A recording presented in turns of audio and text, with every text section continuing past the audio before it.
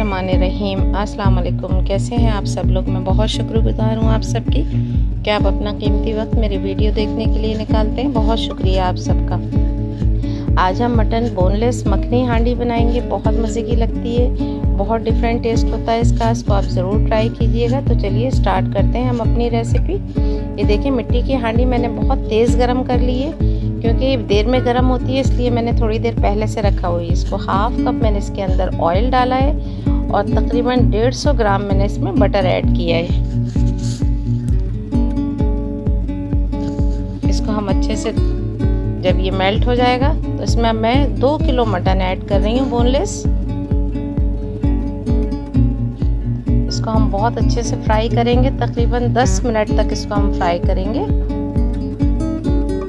मिट्टी की हांडी आप पहले से गर्म कर लीजिएगा, वरना ये एकदम से ठंडी होती है तो फिर पकने में बहुत मुश्किल होती है। तो इसलिए आप फाइव टू सेवन मिनट पहले से चूल्हे पे चढ़ा दें तो बहुत अच्छे से फिर जल्दी हो जाता है। अब हम देखें इसको। तकरीबन 10 से 12 10 मिनट तक इसको हम अच्छे से गोश्त फ्राई करेंगे। हाई फ्लेम पे बनाइएगा इस वक्त इसको, ताकि हाँ ठंडा ना हो ये। इसको आप ज़रूर ट्राई कीजिएगा, मुझे कमेंट करके बताइएगा कि आपको कैसी लगी। देखें 10 मिनट हो गए। अब इसमें डेढ़ टेबल स्पून में अदरक लहसुन का पेस्ट, चार से पाँच हरी मिर्चें इसमें, और एक टेबल स्पून तकरीबन इसके अंदर नमक ऐड कर रही हूँ। बहुत कम मसाले होते हैं इसके अंदर, बहुत ज़्यादा मसाले नहीं होते और बड़ी मज़े की बनती है। इसको आप ज़रूर ट्राई कीजिएगा। अब इसमें एक कप पानी ऐड कर रही हूँ और इसको हम 25 मिनट तक 20 से 25 मिनट तक स्लो फ्लेम पे गलने के लिए लगा देंगे। ये देखिए, हमारे 20 मिनट हो गए अब हम इसको चेक कर लेंगे और क्योंकि इसमें पानी है भी, हम इसलिए 60 परसेंट जब डन होगा तो हम इसको भूनना शुरू कर देंगे। देखिए, तकरीबन 60 परसेंट गोश्त हमारा हो गया है। अब इसमें हम टोमेटो की प्यूरी भी डालेंगे तो पानी और ज़्यादा होगा, वरना फिर गोश्त बिल्कुल गल के टूट जाएगा। देखिए छः से सात मैंने टमाटर लिए और उसको मैंने ब्लेंड कर लिया है बिल्कुल बारीक। अब हम इसको ऐड कर देंगे और इसकी हम भुनाई करेंगे। जब तक हम इसको भूनेंगे हाई फ्लेम में, तब तक हमारा गोश्त में भी जो कसर है, वो हो जाएगा, तैयार हो जाएगा, बिल्कुल रेडी हो जाएगा जब तक। अगर आप पूरा गला लेंगे और उसके बाद इस तरह करेंगे, भूनने में टाइम लगता है तो बिल्कुल गोश्त आपका जो है ना, टूट के हाथ में आ जाएगा।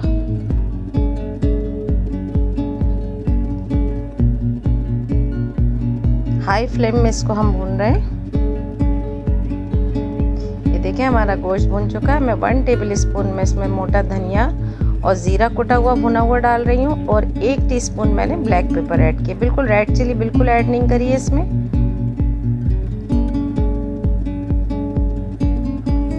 और दो से तीन हरी मिर्चें और ऐड कर रही हूँ मैं इसके अंदर। बस हरी मिर्च और ब्लैक पेपर का इसमें टेस्ट होगा।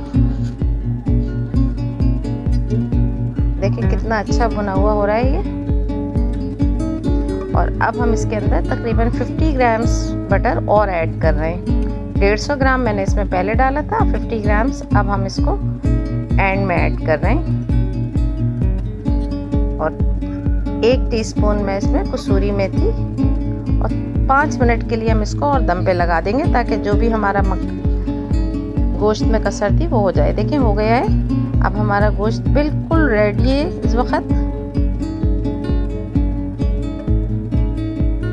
देखें, कितना अच्छा भुना हुआ बिल्कुल, गोश्त बिल्कुल गल चुका है। इसको आप ज़रूर ट्राई कीजिएगा। मुझे कमेंट करके बताइएगा कि आपको कैसी लगी। एक टीस्पून इसमें गरम मसाला ऐड कर रही हूँ। देखें, कितना ज़बरदस्त सा मक्खन ऊपर आ गया है अब इसके अंदर। और इसका टेस्ट इतना डिफरेंट इतना मज़े का होता है कि आप इसको पराठे के साथ खाएँ, नान के साथ खाएँ, शिरमाल के साथ खाएँ, बहुत मज़े का लगता है। हरा धनिया, हरी मिर्च और अदरक से इसको गार्निश किया है मैंने।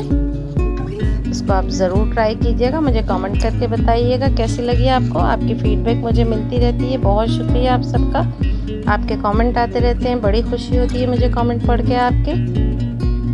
ये देखें कितना खूबसूरत सा कलर आया, कितनी ज़बरदस्त ही हमारी मटन बोनलेस मखनी हांडी बन चुकी है, तैयार हो चुकी है, बिल्कुल सर्विंग के लिए रेडी है। अब ये मैं चूल्हे से उतार चुकी हूँ, लेकिन हांडी के अंदर थोड़ी देर तक ये पकती रहती है, क्योंकि गर्म होती है हांडी।